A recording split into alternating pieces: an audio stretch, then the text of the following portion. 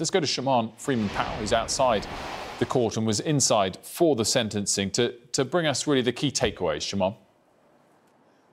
Well, over the past three days, the details and the evidence that we've heard in this sentencing hearing has been harrowing and quite distressing, actually. So distressing that even the prosecutor himself yesterday broke down in tears, listening to some of the evidence from witness statements from girls as young as 10 years old, outlining how has gro- had groomed, threatened, and intimidated them into sending indecent sexual images of themselves using the social social media platform Snapchat to do so. And during the course of this sentencing hearing over the past three, day, three days, many of the victims' family members were present in court, having to listen to this harrowing detail. However, Edwards himself was not present as he is so far, well, has refused to attend court for this sentencing hearing. But the judge, though, today, she summarised what she believes Edward had done whilst committing these crimes. She spoke about how Edwards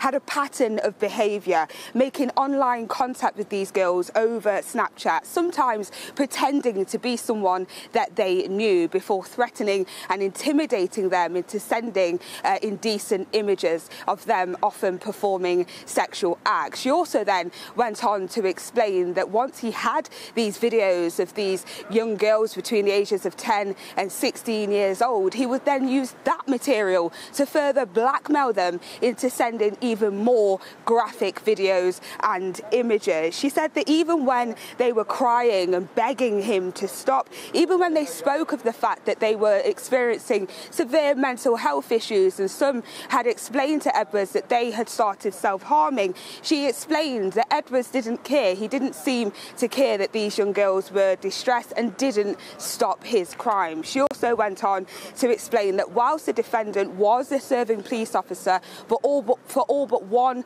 of these counts that he actually posed as a 14 year old boy to commit these crimes. So he didn't use his power as a police officer to commit these offences. However, she did say it was significantly aggravated by the fact that he was a serving police officer.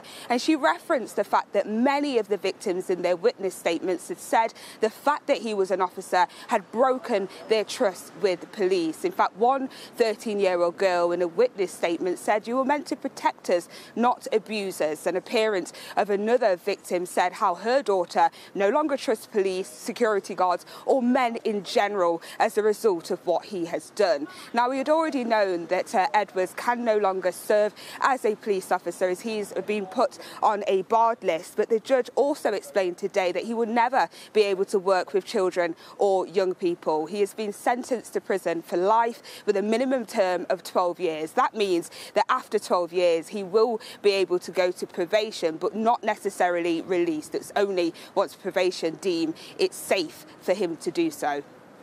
Shamaan, thanks so much for that. Shamaan Freeman Powell there outside Cardiff Crown Court.